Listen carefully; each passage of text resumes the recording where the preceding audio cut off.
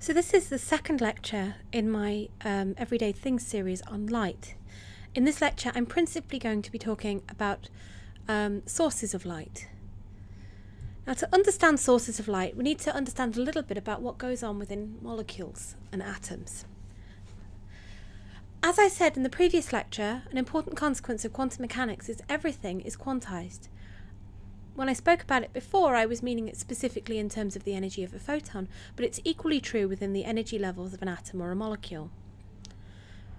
On my figure here on the left, I have a series of energy levels, and essentially all I'm trying to show here is the um, kind of scale of the transitions involved in each case.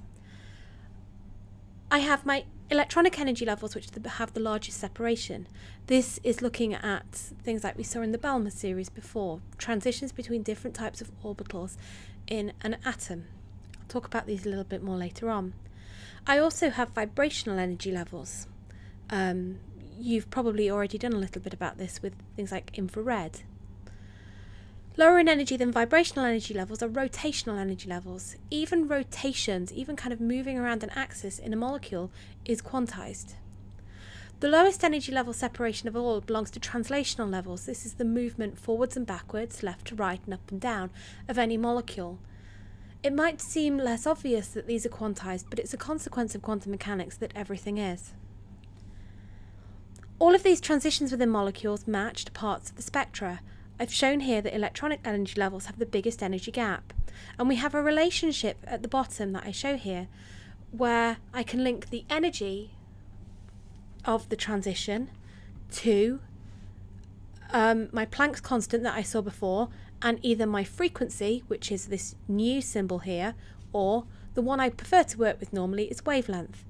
So the change in energy between the two energy levels I'm concerned with is equal to Planck's constant times the speed of light divided by the wavelength of my um, photon or wavelength of my light that I'm looking at. So each of these match to different parts of the electromagnetic spectra. And I've shown you this figure before, but now I've amended it to kind of match what's going on here in terms of the um, transitions that these um, frequencies and wavelengths of light match to. If I start, instead of either side, I'm going to start looking at the UV. This is my transition of valence electrons. So my outer shell of electrons transitions from, for example, a HOMO, highest occupied molecular orbital, to a LUMO, lowest unoccupied molecular orbital. In the case of hydrogen, the Balmer and the Lyman and the Paschen series, this is what I see as my valence electron, hydrogen only has one electron. But if I take something considerably heavier, like iodine, um, I'm looking at the movement from the highest occupied p orbital to the next available energy level. If I look at iodine again, but I look at moving an electron from, say, a 1s, 2s, 2p, one of those, and excite that all the way up, it can't go into its 3s, 3p, they're already occupied, so it has to jump a lot higher in energy. This is what we would call the transitions of core electrons. So this happens in the gamma and the X-ray region. And um, this is fundamentally where our difference between gamma and X rays comes from. X rays are caused by transitions, movements of core electrons. Gamma rays are actually caused by transitions within the nucleus of the molecule. In terms of wavelength, they're the same, but in terms of how they were formed, they're quite different. Microwave. Uh, the microwave region deals with rotations of the molecules, the energy gaps of uh, the rotational steps within a molecule match the microwave light. And even though we can't observe them easily, radio waves re relate to the translational energy gaps within a molecule. Being able to think of the electromagnetic spectra like this and being able to marry this to different parts of different transitions within a molecule can often be really useful to think about the processes going on within that atom or molecule.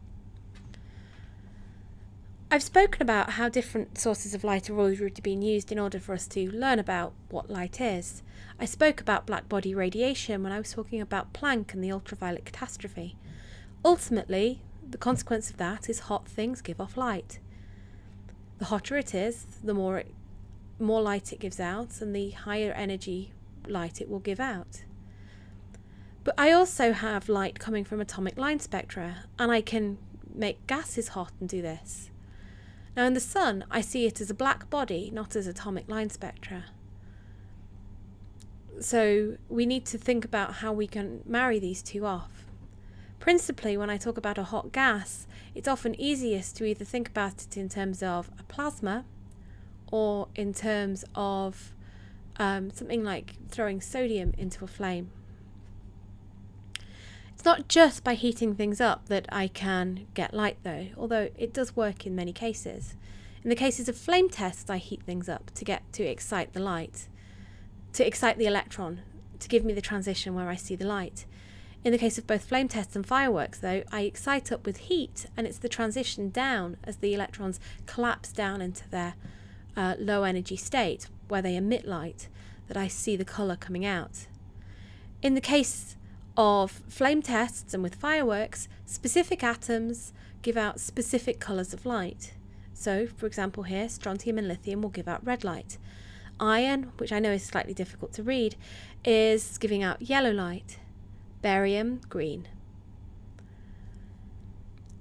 These colours are all matching to different transitions, different energy transitions within my molecules. The bigger the energy gap, the higher the energy of emission. So copper has a higher energy gap than strontium or lithium. This principle works exactly the same if I look at a low pressure gas. So when we talk about neon tubes, we're talking about very, very low pressures of gas contained within a tube. And what I'm doing in this case is I'm exciting the electrons into higher energy levels by having a large potential difference or a large voltage across the tube. As I apply the voltage, I excite the molecules into a higher energy state, and when they drop down again, they will emit light. That colour of light is again um, dependent upon the energy gap between the what I've excited into and the ground state. In the cases of helium, neon, argon, krypton, and xenon, um, although we see just a single colour, the spectrum are often far more complicated than we can see to the naked eye. If I was giving this lecture in normal kind of lecture theatre terms, you would have almost certainly seen me use a laser pointer Lasers, which stands for light amplification by stimulated emission of radiation, work by the principle that light is coming into a sample, and by doing that, I can make a transition happen within a molecule. If I imagine that I have a system here, I've these my S0 and my S1 are marking electronic energy levels. You can see I've also marked vibrational energy levels on as well. In this case, I have an excited state already, and it can drop down to the ground state by what I call spontaneous emission.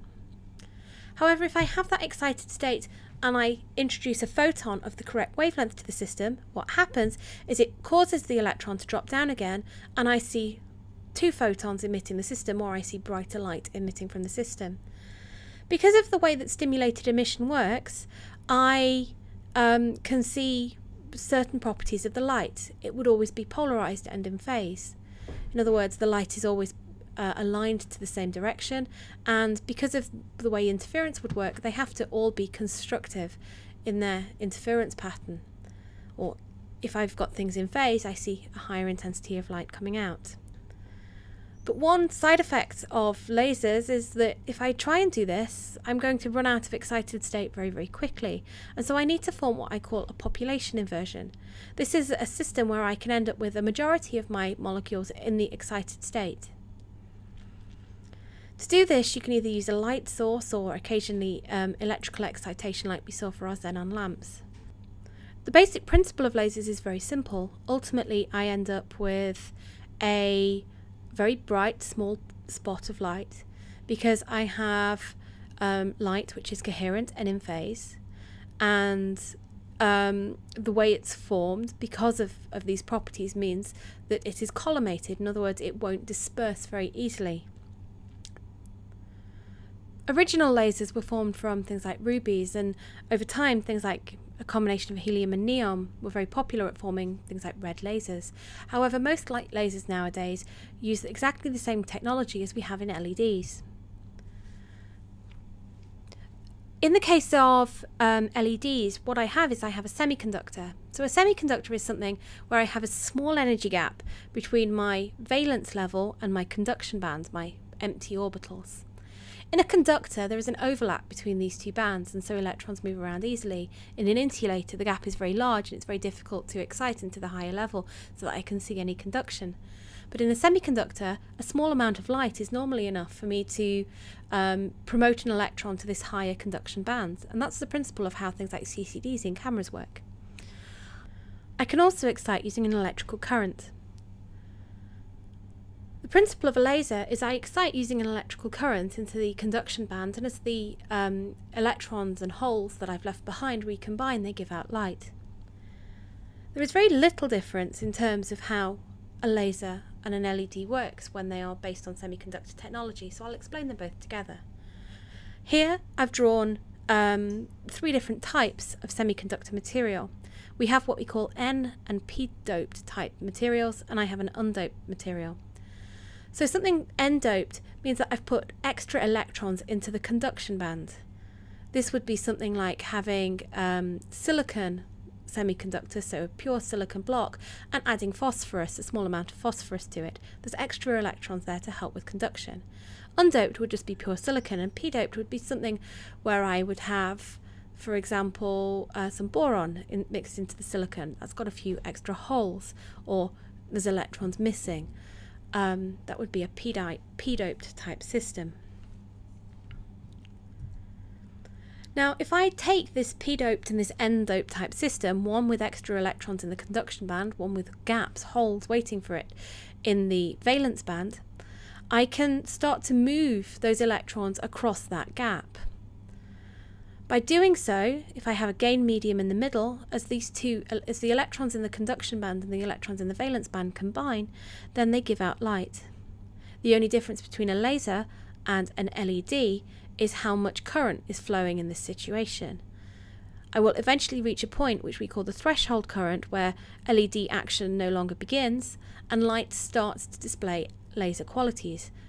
So LEDs are just low powered lasers effectively. LEDs have a poor dispersion, they are very unfocused.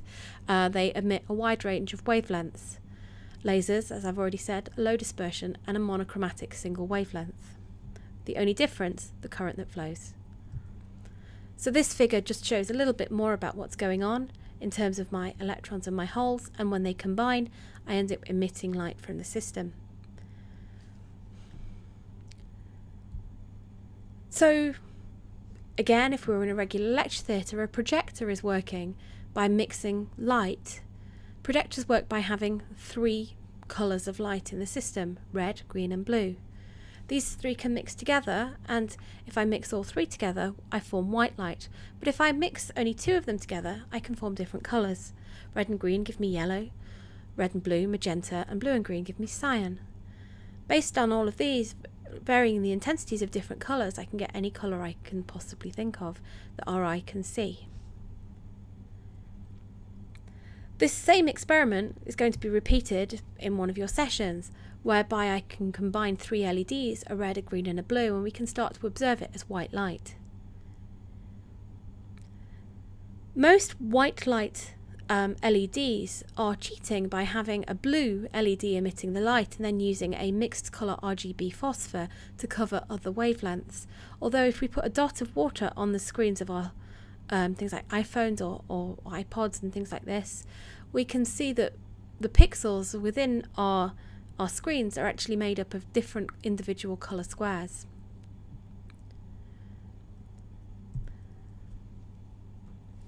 Here I show the what happens within the screens of your um, of your iPads and iPhones and things like this. I have three different color squares. These are made up by three different color, three different energy gap semiconductors, which each emit three different colors. So things like um, indium gallium nitride or, or zinc selenide will emit blue light. Um, I can change the amount of doping or, or change my semiconductor and I'll emit green and red, again, a different combination. I can change the temperature of the white light by varying the components of each of my RGBs. But as I said, most white lights are actually cheating by having a blue LED and a phosphor which will emit a very broad spectra um, to make the white light appear this way. I hope that this has given you an introduction to some of the many and varied ways that um, that light is emitted. I'm going to use the session that goes with this to talk a little bit in, uh, about these things in a little bit more detail. So please bring along your questions.